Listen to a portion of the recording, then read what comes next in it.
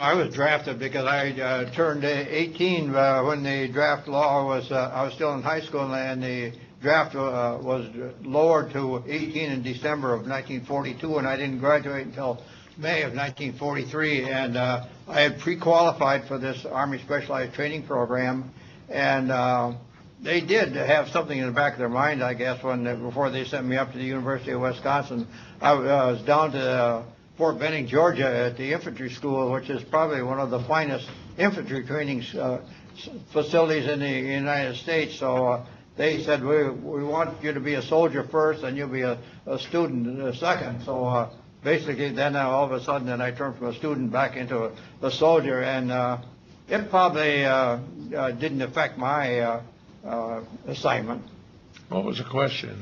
uh, whether you were drafted or whether you were enlisted. And did that affect your, your participation? Oh, I had taken four years of ROTC at Indiana University.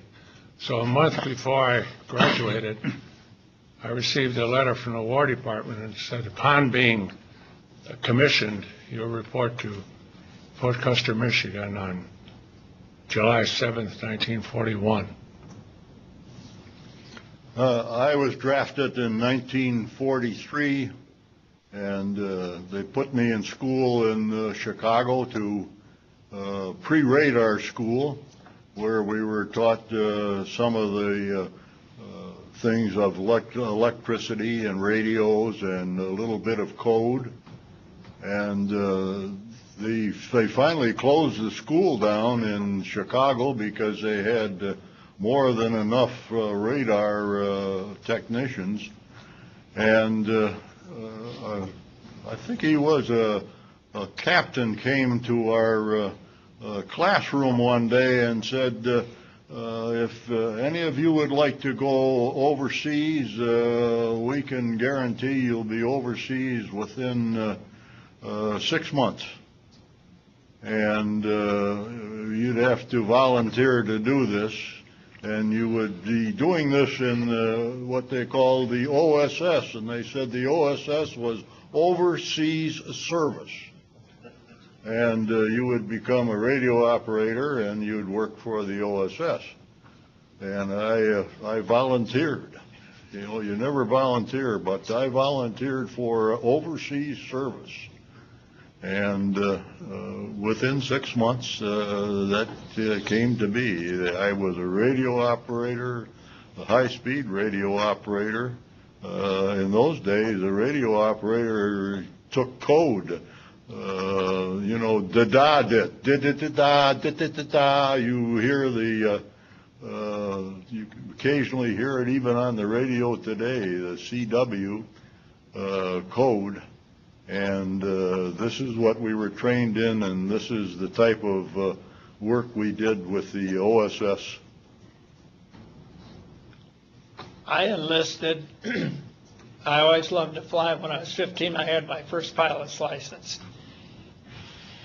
They were, they sent us to Fort Sheridan, or no, we first went to Battle Creek. Then we went to Big Spring, Texas. They weren't ready for us. They sent us right to school. I never had one day of basic training. When we left California, we were sent to Kelly Field, Texas, the big flight school there. And from there, we were sent to Australia. When we got into San Francisco that day, all these battleships, a couple carriers, it was the biggest bunch of ships you could ever imagine. And we thought, boy, this is going to be exciting going to Australia. They put us on a little ship, the Maui, 125 specialists, Air Force people, and a solid load of caskets. 39 days later, we landed in in Brisbane, Australia. We stayed there two days. They put us on a little boat or a little train, which were different gauges in Australia. And every morning at 10 o'clock, wherever you were in the outback, they drew hot water off the engine and fed everybody tea. A lot of it was a little bit tainted from the rust in the engine.